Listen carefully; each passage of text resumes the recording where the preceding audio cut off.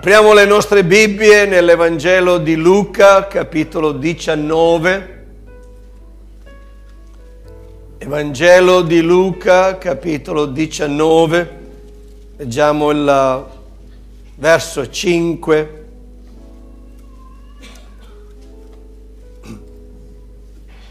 Evangelo di Luca, capitolo 19, verso 5 dice quando Gesù giunse in quel luogo, alzati gli occhi, lo vide e gli disse, Zaccheo, scendi presto perché oggi debbo fermarmi a casa tua. Verso 8.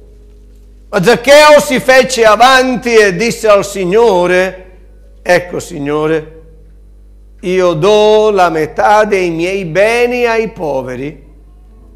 Se ho frodato qualcuno di qualcosa, gli rendo il quadruplo, quattro volte in più. Alleluia. Grazie Dio per la sua parola. Signore benedica, potete accomodarvi. Alleluia. Stasera con l'aiuto di Dio desidero predicarvi un sermone il cui titolo è, è in tre parti. Man mano che andremo avanti vi annuncio il titolo della parte interessata. La prima parte è Gesù sa dove sei.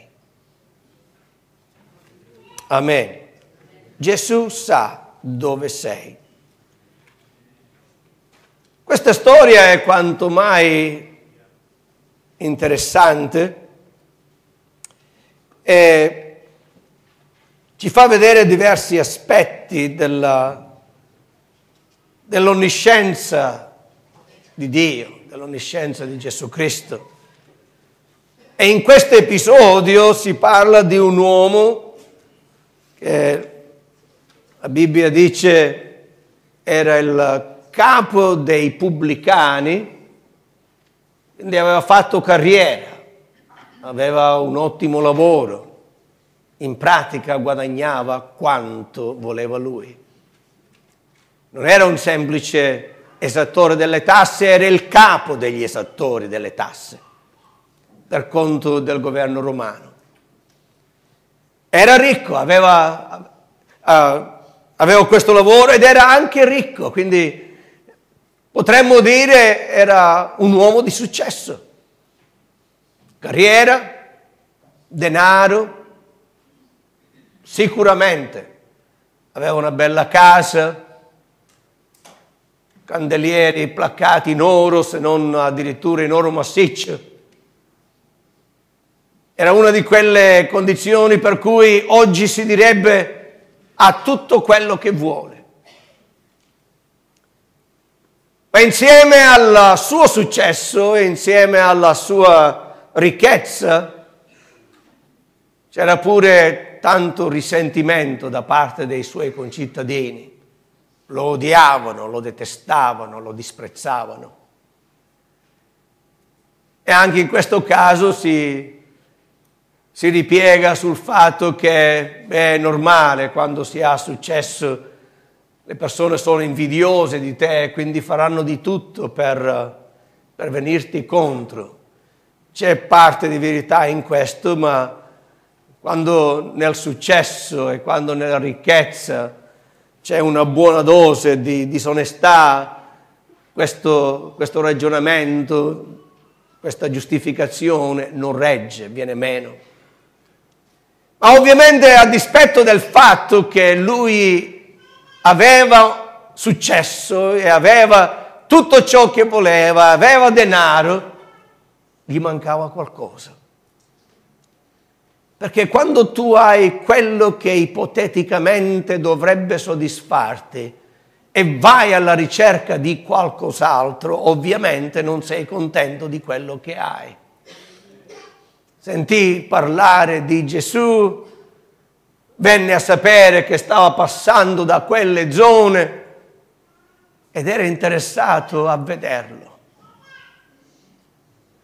Sembra, sembra un, un interesse che può essere chiamato più curiosità che interesse, ma è ovvio che questo interesse nascondeva uh, un'esigenza, un desiderio, qualcosa che dentro gli mancava e lui voleva trovare quello che gli mancava.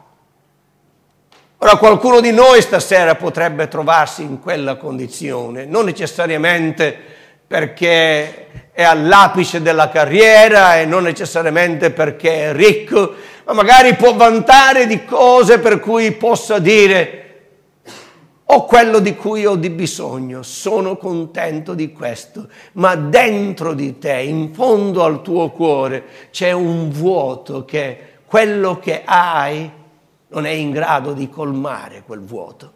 Così come qualcuno ha detto nel cuore di ogni uomo c'è un vuoto che ha la forma di Dio e solo Dio può riempire quel vuoto alla perfezione.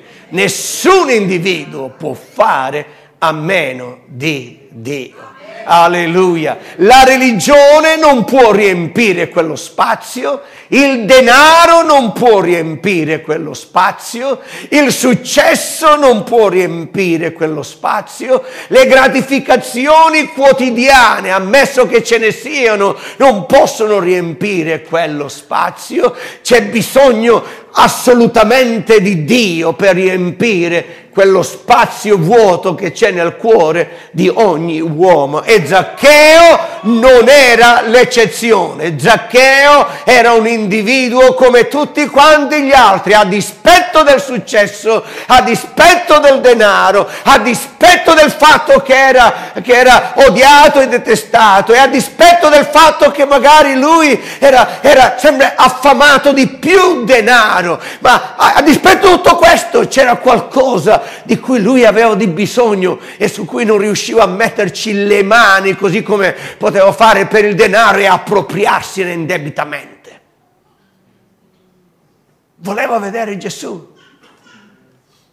Aveva quel nascosto desiderio, quel desiderio segreto nel suo cuore di voler vedere Gesù. E siccome la folla era grande, e lui era basso di statura.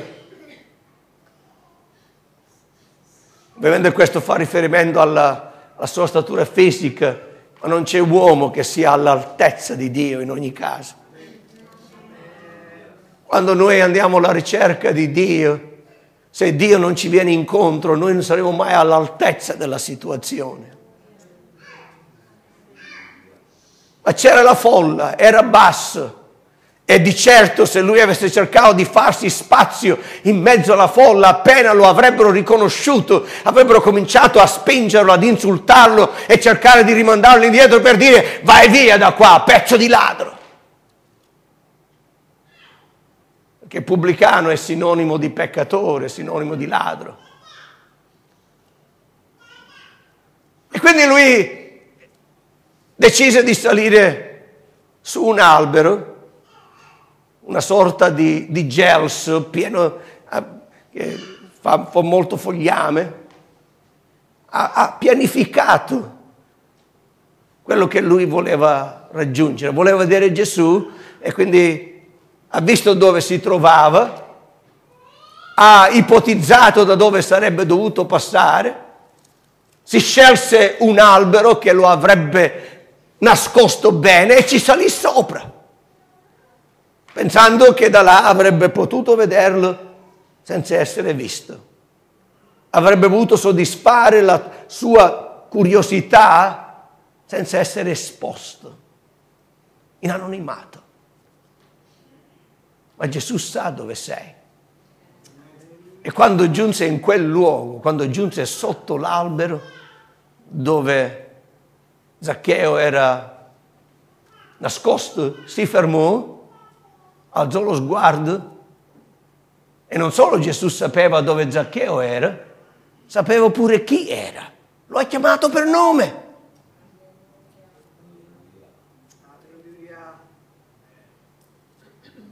Puoi, puoi, puoi fare tutto ciò che vuoi in anonimato. Puoi tirare la pietra e nasconderti la mano dietro la schiena e nessuno lo saprà mai, ma Gesù sa chi sei. Gesù sa dove sei. Alleluia! È impossibile sfuggire alla sua conoscenza. Tutti siamo un libro aperto davanti al Signore. Alleluia. Alleluia. Sapeva dov'era, così come sa dove sei tu stasera, in quale stato d'animo ti trovi, su quale albero hai cercato di annidarti, nasconderti.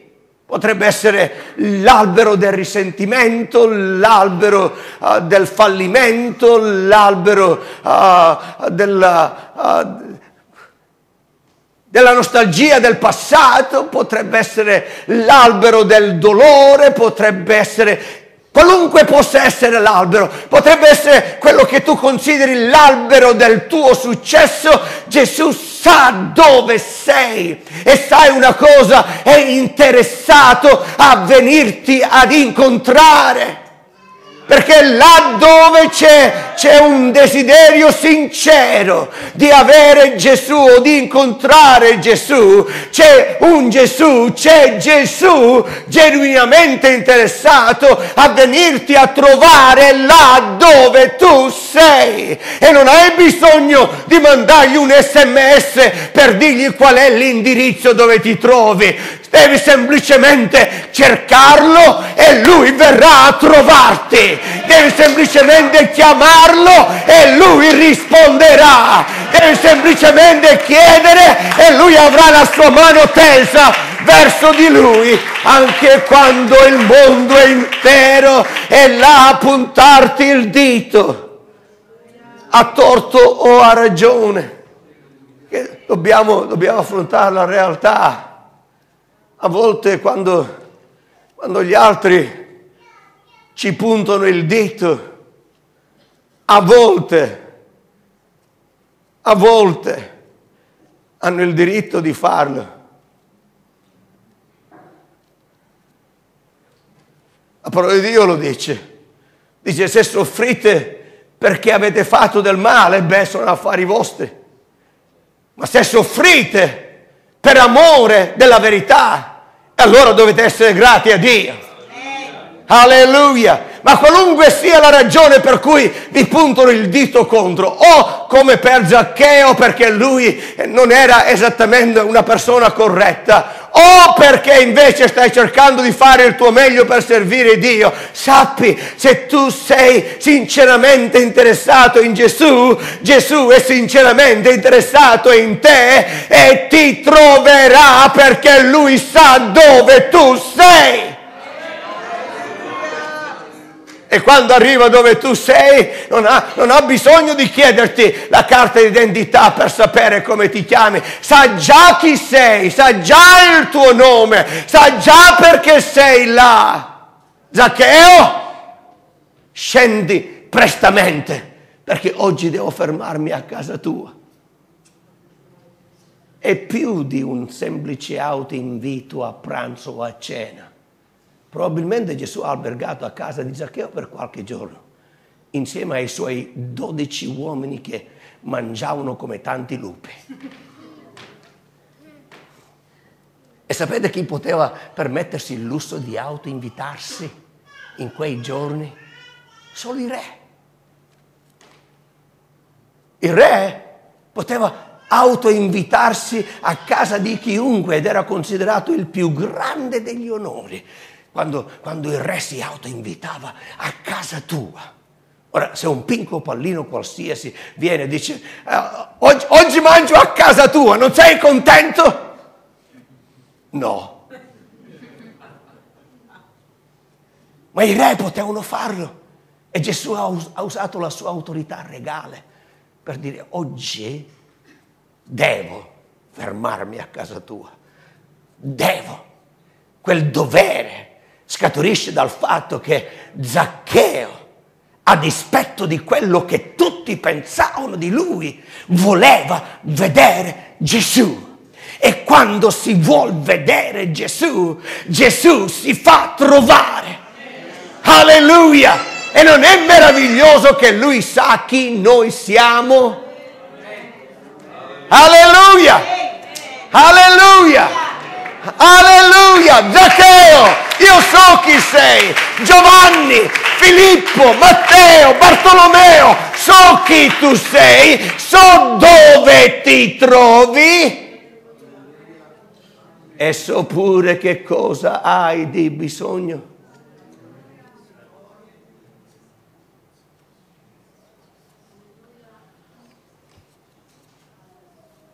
Devo fermarmi a casa tua. Tu hai bisogno che io mi fermi a casa tua. Perché Zaccheo, le tue ricchezze, il tuo successo, la tua cattiva reputazione, non ti danno quello di cui tu hai di bisogno, quindi io devo fermarmi a casa tua. Tu hai bisogno che io mi fermi a casa tua. Tu hai bisogno che Gesù sia a casa tua. E sai cosa significa quando Gesù deve essere a casa tua? Che le regole cambiano. Non sono più le regole del mondo, ma diventano le regole di Dio. Non sono più a modo mio, ma diventa a modo suo. Non quando voglio io, ma quando vuole Lui. Io ho bisogno della presenza di Gesù a casa mia, nella mia vita, nella mia mente, ogni singolo giorno. Ogni giorno desidero dire, Signore, oggi voglio che tu sia a casa mia. Oggi voglio che tu sia a casa mia. Alleluia!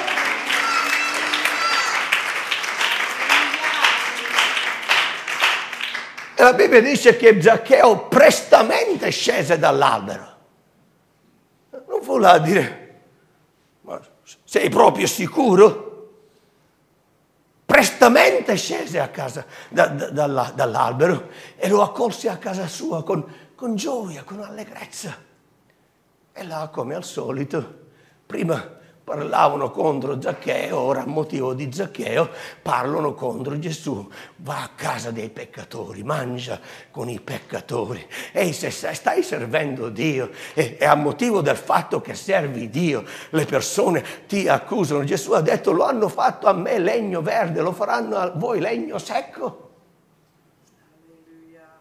Ma questo non deve diventare un falso alibi per dire eh, la ragione per cui eh, sono detestato dalle persone perché io servo Dio. Devi, devi, devi, essere sicuro che è così, perché se non è sicuro che è così, allora hai bisogno di cambiare, allora hai bisogno di invitare Gesù a casa tua, hai bisogno di cercare Gesù affinché lui abbia l'opportunità di fermarsi a casa tua e fare la differenza, perché quando c'è Gesù, lui fa la differenza l'atmosfera cambia, l'umore cambia, la condizione spirituale cambia. Dove c'è morte arriva la vita, dove c'è buio arriva la luce, dove c'è tristezza arriva gioia, dove c'è sconsolazione arriva pace, perché Lui è tutto ciò di cui noi abbiamo di bisogno. Alleluia! E io, io, non so a che punto era, era, arrivato il pranzo la cena quello che sarà per essere, probabilmente prima ancora che cominciassero a mangiare, perché avrà dato subito ordine ai suoi cuochi, ai suoi camerieri, ai suoi domestici di preparare il miglior pranzo che era mai stato preparato. E per 13 uomini c'è un bel da fare a cucinare. Tu come sei messa a forchetta? Una buona forchetta, vero? Prendi 13 come salvo trovato e dovete andare a comprare 12 vitelli. E probabilmente prima ancora che si sedessero a tavola succede qualcosa di straordinario. Zaccheo va da Gesù e gli dice, Signore, Kyrios, eterno, io darò la metà dei miei beni ai poveri.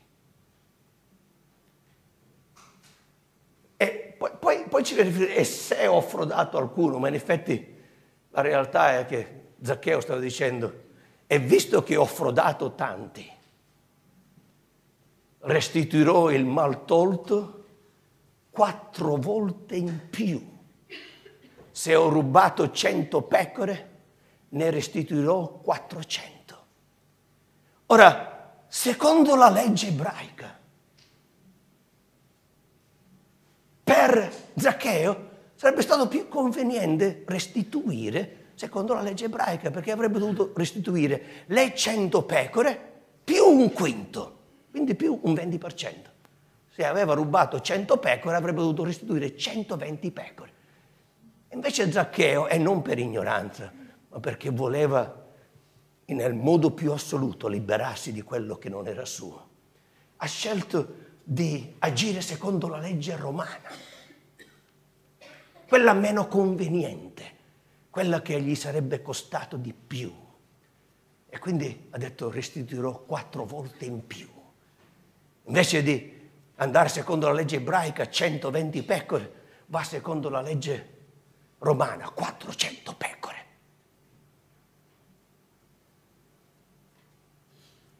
E questo perché Gesù, entrando a casa sua, è stato in grado di fare la differenza. Gesù sa dove sei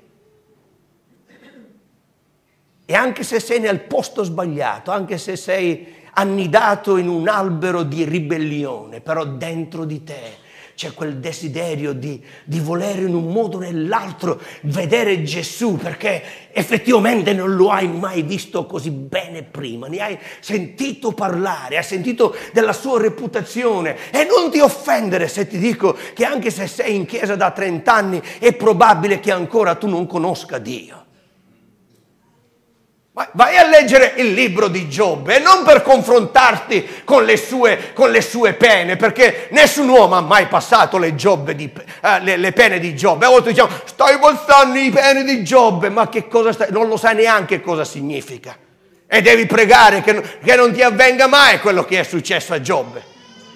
Nel giro, nel, nel, nel giro di poche ore probabilmente ha perso tutto le sue ricchezze, le sue pecore, i suoi, i suoi buoi, i suoi asini, i suoi servi, i suoi figli, le sue case, la sua salute, tutto.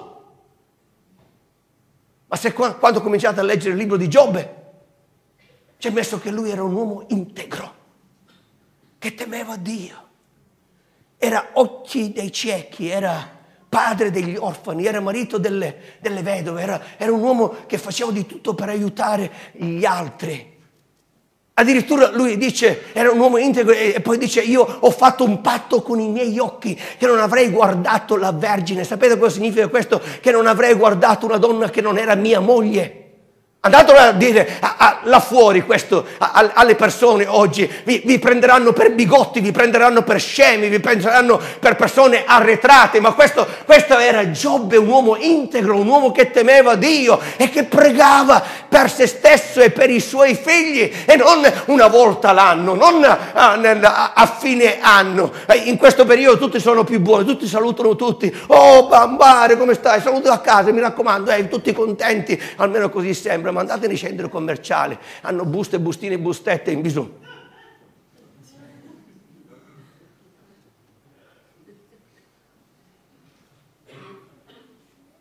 E alla fine di tutte le sue peripezie, Giobbe, quando finalmente riesce a superare il trauma e lo shock di tutto ciò che ha subito e di tutte le uh, le accuse, le insinuazioni che i suoi amici hanno fatto contro di lui. Una cosa è essere accusato dai nemici, un'altra cosa è essere accusato dagli amici.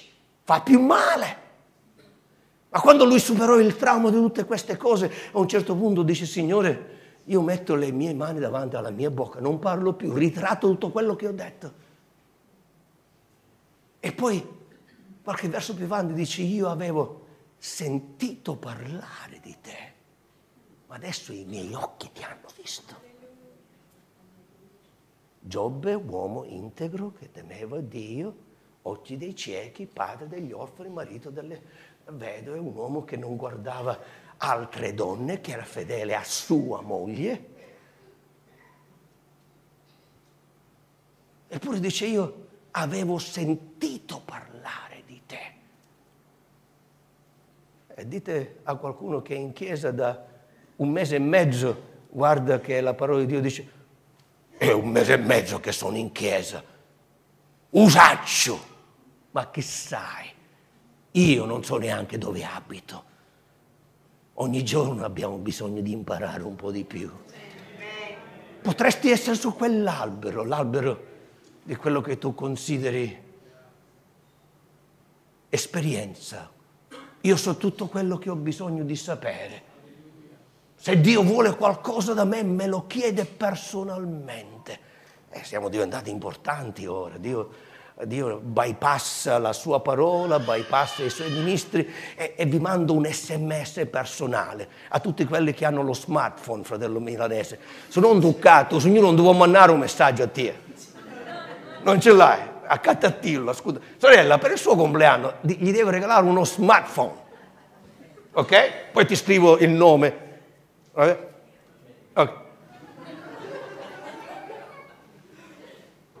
Gesù sa che tu sei su quell'albero.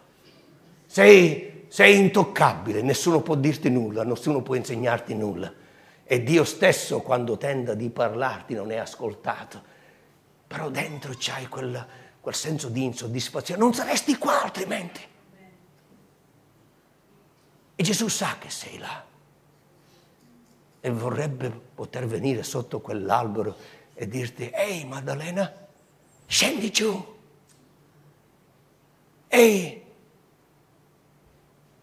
Marta, scendi giù, spero di, di, di, non citare nomi di persone presenti perché altrimenti mi ce lave con mia, no? Dio me ne guardi e liberi. Oggi voglio venire a casa tua. Ehi Giobbe, scendi giù da questa autocommiserazione. Voglio benedirti più di quanto abbia mai fatto prima. Voglio farmi conoscere da te.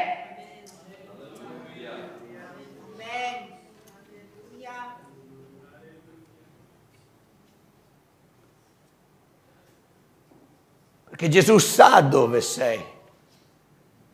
Gesù sa chi sei. E Gesù sa di che cosa hai di bisogno. E se tu gli permetti di venire a casa tua, ieri avete ricevuto la telefonata di una vostra amica o di un vostro parente se non ti dispiace, lunedì vengo a farti visita, sono, sono in ferie e voglio venire a farti visita. Avete cominciato a fare le corse pazze per mettere sotto il tappeto la polvere, sistemare le cose, uh, le tende un po' sporche, giù, andiamola a lavare, domani arriva, o lunedì arriva uh, Cicerina e non, non voglio fare... Cominciate a mettere un, un ordine che magari avete trascurato perché eravate impegnati con altre cose. E Gesù vuole venire a casa tua. Qualcosa, in un modo o nell'altro, se lui viene a casa tua, cambierà.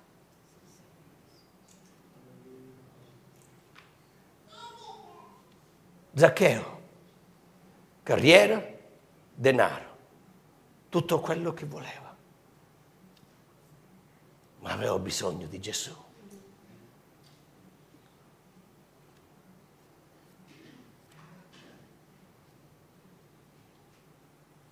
Su quale albero sei stasera? Gesù sa dove sei. Stai cercando di nasconderti dietro quelle foglie, ma Gesù è là a chiederti di venire giù, di scendere dal tuo piedistallo, qualunque sia la natura del tuo piedistallo. La parola di Dio dice, l'orgoglio precede la rovina ma l'umiliazione, l'umiltà precede la gloria. Chi si abbassa sarà innalzato, chi si innalza sarà abbassato. Alleluia. Quando, quando, noi scendiamo dal nostro piedistallo per rispondere all'invito o alla richiesta di Gesù, quando noi decidiamo di, di togliere di mezzo tutte quelle foglie che usiamo per, per cercare di camuffare la nostra condizione. Ricordate Adamo ed Eva quando scoprirono di essere nudi a causa del loro peccato, cosa hanno fatto? Hanno preso delle foglie d'albero per cercare di coprirsi, ma non ha funzionato. Andarono a nascondersi e quando Dio arriva, lui sa dove erano. Lui sapeva dove erano. Così come sapeva dove era Zaccheo. Ma se tu non vuoi, lui non verrà mai a casa tua. E quindi cominci a chiamare Adamo. Posso sentire l'eco. Adamo, Adamo,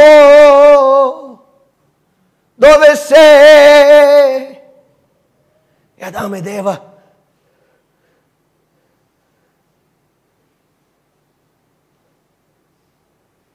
cominciarono a guardarsi l'uno all'altro e non sapevano cosa fare.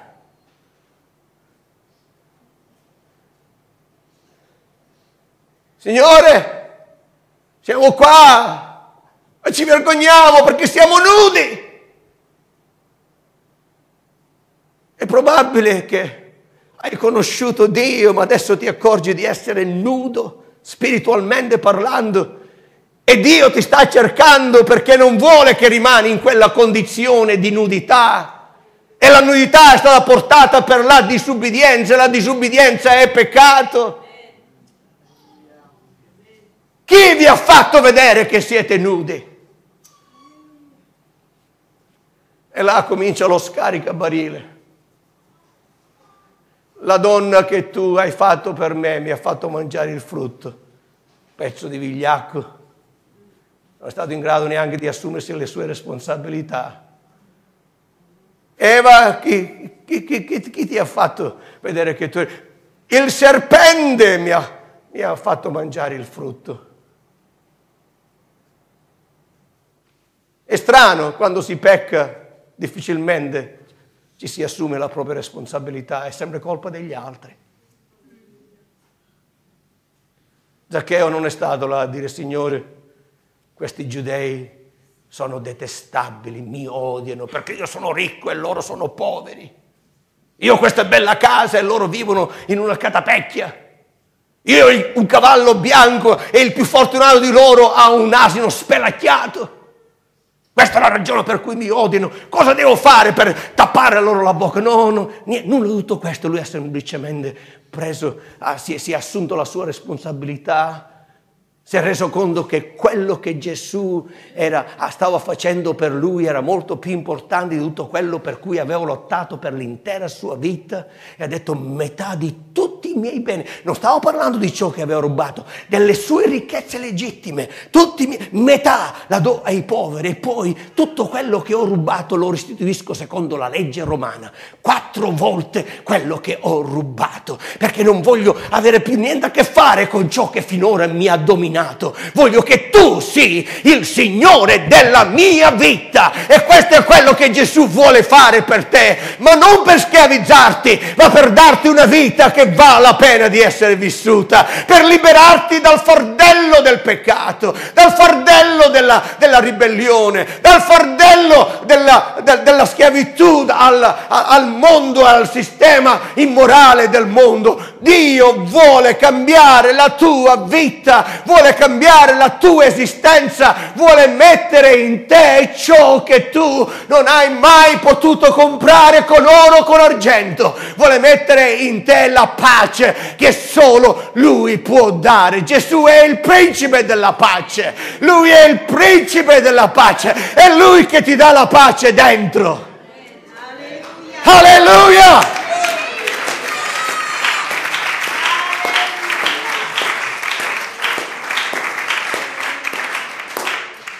Albero potrebbe essere l'ansia, potrebbe essere il tuo passato negativo, potrebbe essere la scoperta di qualcosa di orribile che non ti fa più dormire tranquillamente.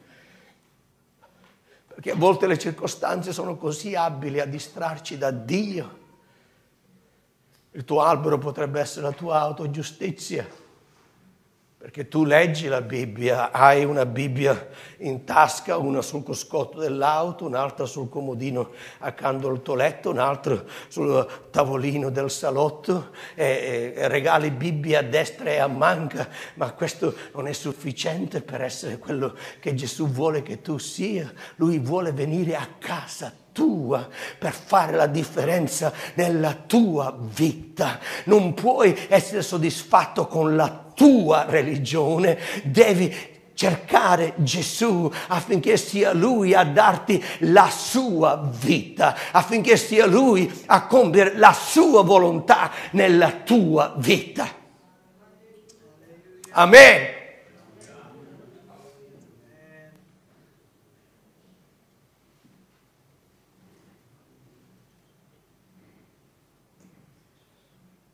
Gesù sa dove sei. Il pastore potrebbe non saperlo, il fratello che ti sta accanto potrebbe non saperlo.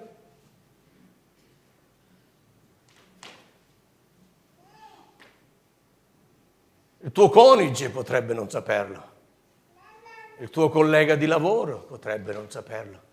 Vedono tutto tranquillo, ti vedono una persona normale, vedono un fratello una sorella che viene in chiesa. Ricordo quando abitavamo a Scillichendi, là c'è una, un panificio vicino alla piazza principale, è proprio l'angolo subito dopo la piazzetta principale. E uno dei figli del proprietario del panificio, lavoravo là. E un giorno è, è andato dal, dal, barbiere, si è fatto tagliare i capelli, si è fatta fare la barba e il barbiere scherzando gli ha detto ah, dove stai andando stai, che stai cercando di farti bello? E lui ha detto adesso vado a salutare i miei nipotini e poi, poi vediamo. Avevo tutto un progetto andò a farsi barba e capelle, andò a salutare i suoi nipotini, poi andò a casa e si impiccò. Credo che avesse 24-25 anni. Tutti pensavano che lui avesse una vita normale.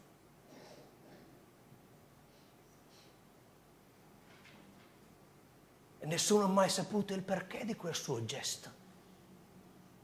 I suoi genitori sono andati ovviamente in crisi. Guadagnavano bene, avevano una bella casa, una, una vita normale.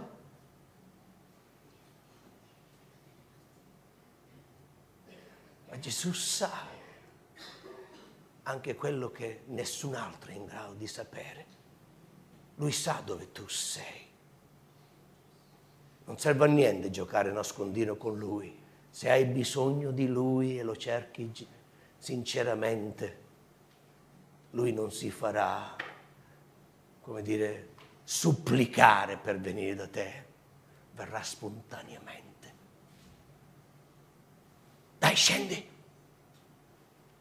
Oggi devo venire a casa tua. Devo venire a casa tua. Per Gesù è un imperativo poter cambiare la tua vita se tu glielo consenti.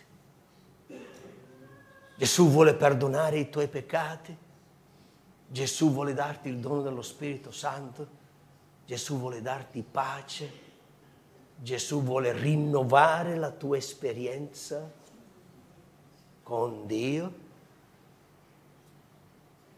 Perché la cosa triste è che noi viviamo nei giorni in cui per molti e non parlo solo di Ale Africa 31, parlo per la Chiesa in generale. Per molti è diventato soltanto una questione di routine, di rito, di abitudine. E domenica andiamo in chiesa È sabato andiamo in chiesa, mercoledì andiamo in chiesa, poi c'è chi ha il calendario, se vado il mercoledì non vado il sabato e poi vado la domenica, se, a meno che non ci siano impegni eh, a causa di forza maggiore, oppure eh, vado il sabato non vado la domenica, o non vado la domenica e vado il mercoledì, una specie di, di, di schedina, una routine, un qualcosa che facciamo con la stessa attitudine con cui andiamo al bar a prendere un caffè con l'amico. Ma Gesù stasera sa dove sei, sa chi sei e sa che cosa hai di bisogno ed è sinceramente interessato a fare la differenza nella tua vita. Se ancora non hai chiesto il perdono dei tuoi peccati, confessali a Lui e Lui ti perdona. Se ancora non hai ricevuto il dono dello Spirito Santo con l'evidenza del parlare in altre lingue, è un dono che Dio ha per tutti.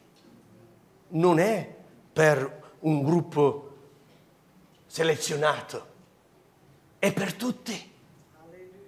Avverrà, dice la parola di Dio, che negli ultimi giorni io verserò il mio spirito sopra ogni carne, dice il Signore. Questa, questa è la sua volontà, questo è quello che lui vuole fare, quindi è per tutti. Però se poi io apro l'ombrello per evitare che ciò che Dio ha per me mi tocchi, quella è la mia scelta.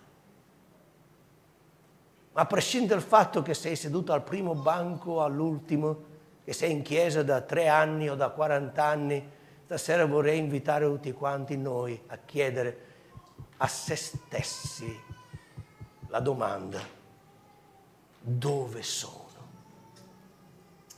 Chi sono? Cosa ho di bisogno? E poi rivedere le domande ovunque io sia, Gesù sa dove mi trovo. Chiunque io sia, Gesù sa chi io sono. E qualunque cosa io abbia di bisogno, Gesù già lo sa ed è pronto a poterlo fare se io gli consento di venire a casa mia. Le chiedo di alzarvelo in piedi.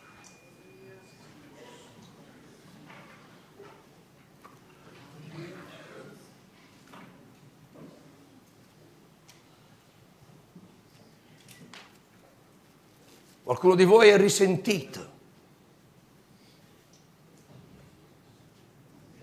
che la vita vi ha giocato un brutto scherzo.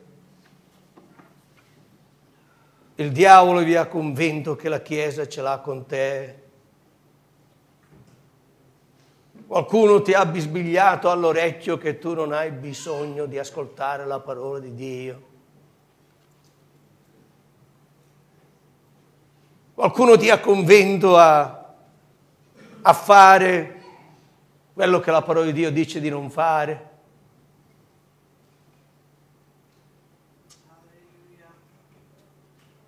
E questo qualcuno l'ha fatto fin dall'inizio. È quello che ha fatto con Adamo ed Eva. Ha messo dei grandi punti interrogativi intorno a ciò che Dio aveva detto, per poi alla fine cercare di smentire Dio. Non è vero. Non è vero che morirete, anzi diventerete come Dio.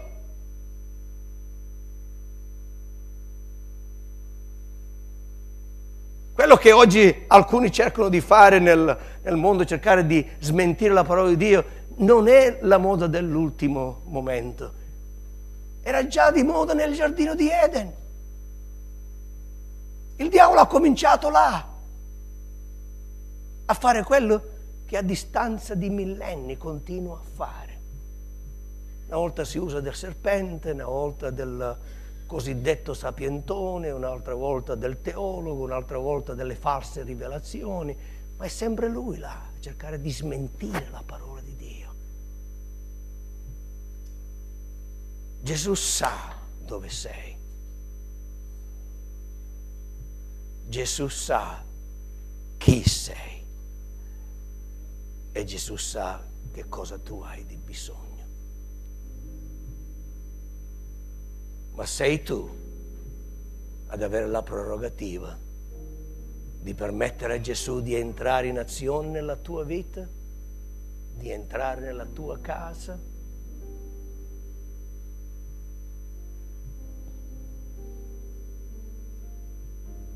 Oppure decidere che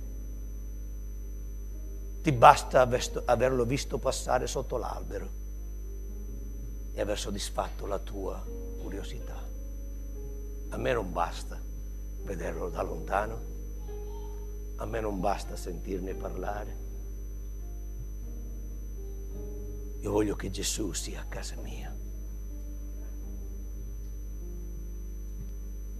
E questa è la ragione per cui quando venite a casa mia, o chi viene a casa mia, non troverà riviste pornografiche, non troverà scatole parlanti, non troverà bottiglie inebrianti, non troverà bastoncini intossicanti, non sentirà parole volgari, perché Gesù è a casa mia.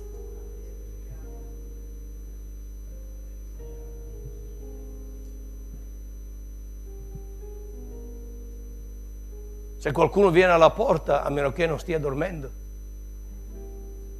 e se sto dormendo significa che o qualcuno è venuto alla porta prima delle 5 e mezza, oppure è venuto alla porta dopo le 22 e 22, perché quella è la mia ora per andare a letto, alle 22 e 22. Ogni tanto le mie figlie mi mandano un messaggio alle 22 e 25, se io rispondo dico oh oh, hai perso il segno, riprovaci, sarai più fortunato, che dovevo già essere a letto. Ma non ho bisogno di andare ad afferrare chissà quale tovaglio coperta per coprirmi. Sono già vestito decentemente. Magari non avrò la cravatta perché quando posso ne faccio a meno. Non avrò il vestito, sono vestito decorosamente. Gesù vuole venire a casa tua stasera. E non ti preoccupare, non, non ti ruberà spazio, verrà soltanto per migliorare le tue condizioni. Qualcuno dice, ma Zaccheo ci ha rimesso un sacco di soldi, ha dovuto far mangiare quei 13 uomini affamati. Non si sa neanche quanti giorni sono rimasti a casa sua. Ha dato metà di tutti i suoi beni. E per qualcuno che è in grado di dare metà di tutti i suoi beni e poi restituire il mal tolto quattro volte in più, doveva avere una montagna di soldi quella montagna di soldi non erano in grado di soddisfare quel vuoto di Zaccheo. C'era bisogno di Gesù e Gesù vuole farlo per te. Stasera, non domani, stasera. Vuole darti lo Spirito Santo stasera. Vuole perdonare i tuoi peccati stasera. Vuole guarirti stasera vuole cambiare la tua vita stasera. Se qualcuno di voi vuole rendersi conto di quale veramente sia la propria vita, vi farà ridere, ma c'è da piangere. Basta che andate a guardare le foto che pubblicate sui social network.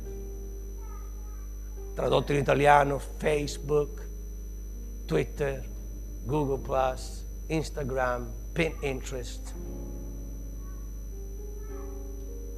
Ci sono foto che, da cui è impossibile sapere che quelle persone sono cristiani. Impossibile.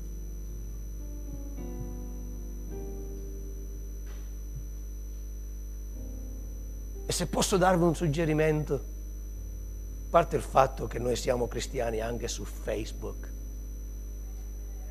Ma un ispettore della polizia postale anni fa mi disse, signor arcidiacono, se posso dargli un consiglio, pubblichi il minor numero di foto possibile sulla, su internet o su qualsiasi social network, perché è impensabile quello che a volte fanno con le foto di persone ignare,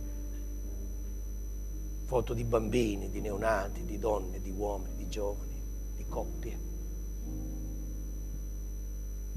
Ma questo a prescindere, dobbiamo essere cristiani anche su Facebook, dobbiamo essere cristiani anche su Instagram,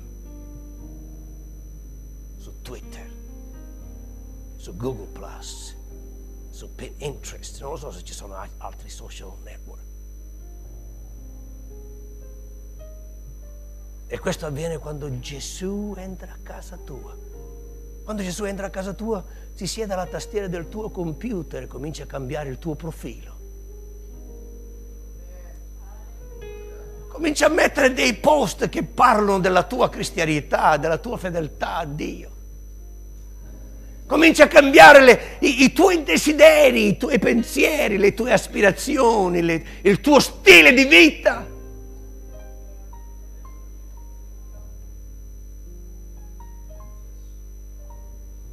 Zaccheo, Gesù deve fermarsi a casa tua oggi.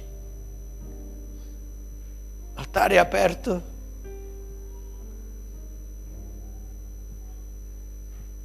E sei tu a decidere cosa fare della tua vita, del tuo presente, di quello che sarà il conseguente futuro da quello che tu farai nel tuo presente.